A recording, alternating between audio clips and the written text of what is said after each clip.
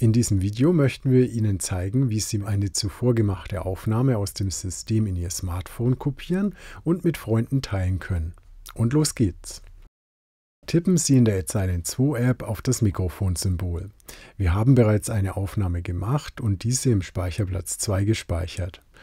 Um die Aufnahme in Ihr Smartphone zu kopieren, tippen Sie auf die drei Punkte am Ende der Zeile des Speicherplatzes. Es wird angezeigt, was Sie tun können. Wählen Sie Download aus. Geben Sie im erscheinenden Fenster einen Dateinamen ein. Wir nehmen mal Pathetik. Dann tippen Sie auf OK. Ihre Aufnahme ist jetzt im Smartphone gespeichert und kann geteilt werden. Zum Teilen tippen Sie auf das Teilen-Symbol oben in der App.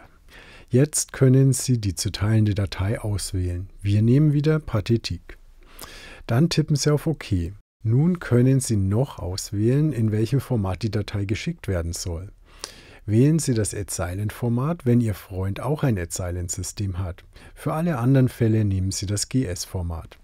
Wir nehmen mal das GS-Format. Wenn Sie diese Frage nicht immer beantworten wollen und meist das gleiche Format benötigen, können Sie hier diese Auswahl merken, anwählen, dann wird das gewünschte Format gespeichert.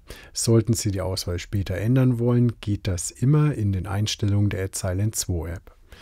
Nun erscheint ein Dialog, in dem Sie auswählen, auf welchem Weg Sie die Aufnahme teilen möchten. Wir nehmen mal E-Mail. Jetzt nur noch die E-Mail-Adresse Ihres Freundes eingeben, Senden drücken und das war's. Wir hoffen, dieses kurze Erklärvideo hilft Ihnen und wir wünschen Ihnen noch viel Freude mit Ihrem AdSilent 2 System.